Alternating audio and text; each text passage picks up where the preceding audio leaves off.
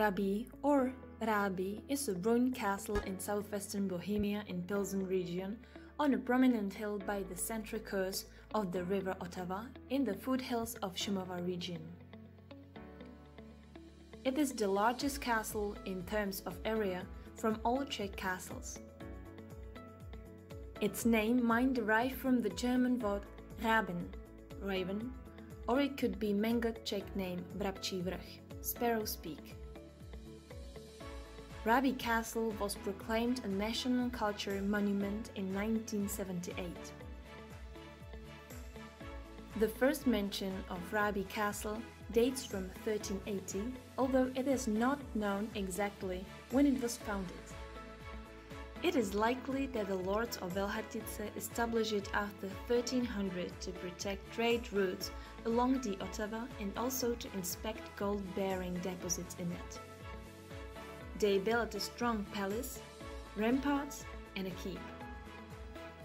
Subsequent owners, the Švihovsky of Riesenberg family, continued building work and built the outer ward and two square towers. At the start of the Hussite rebellions, the Švihovsky family searched for havens of supporters of the Catholic side in the district and for their treasures at Rabi.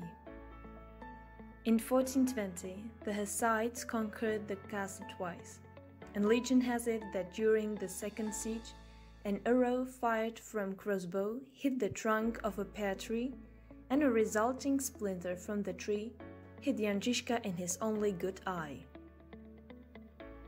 In 1479, the provincial governor Puta Švihovsky of Riesenberg became the owner of the estate and began with the thoughtful remodeling of the castle. Rabi Castle was, from the very start, envisioned as a dungeon-type castle. It was built in the form of three separate sections constructed in tiers above each other. The ramparts were up to 6 meters wide. However, building activity exhausted the Švihovsky family's finances and the fortifications remained incomplete. Many alchemical experiences took place during Puta's time as well. A German alchemist who failed to transform lead into gold was then imprisoned in the castle's massive prismatic tower. Puta had three nannies brought in alive for turning his wife against his brothers.